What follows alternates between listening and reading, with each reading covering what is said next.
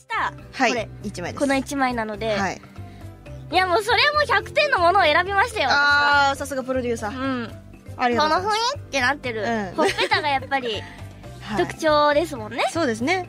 うん。あの丸々っとしてますからね。そうそうそうそうプリモニッとしてるの。を うんなんかやってたじゃんそういうの。はい。えやってやってえやってたよね。何？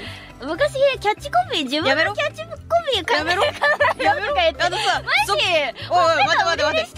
待って待って待って。違う違うぞ違うぞ。おいおいやめろ。おいおいおい。やってたでしょちょ待って待って待って。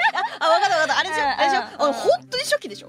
本当の初期の時やってたやつ。それこそあのワグがうん。まだあのデビューする前に自己紹介ってアイドルあるよね。私たちも考えた方がいいのかなって言ってた時の話でしょ？うんそうそうそうそうそうです教よえてくださいじゃないですよ。覚えてないよ私。え待って私ねなんだっけな。全員あったんだよね一通り全員あった。で採用されたのがみゆだけだったんですよ確か。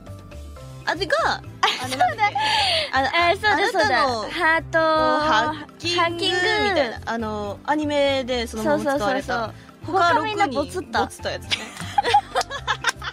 なんじゃそりゃーってなったと思うんですけど、私は、えっ、とね、みんな7人私の横に並べて、1人ずつ数字をよあの読んでって、点呼して、1、2、3、4、5、6、7、ミー !1、2、3、4、5、6、7、ミーっていうのをやりました。あの、他6人いないと成立しない。そうそうそうそうそうで、ボツりました。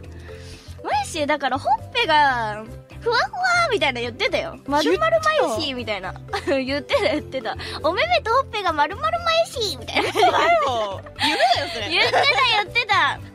ごめん私本当に自分のやつ全く覚えてないやそう。でもマイシーはそんなのでした。そんな感じだったそうですはい。はい ま、またね、うん自撮り載せていきましょう。アイドルマはいわかりましたよろしくお願いしますよ。選んでもらおうと思いますはい。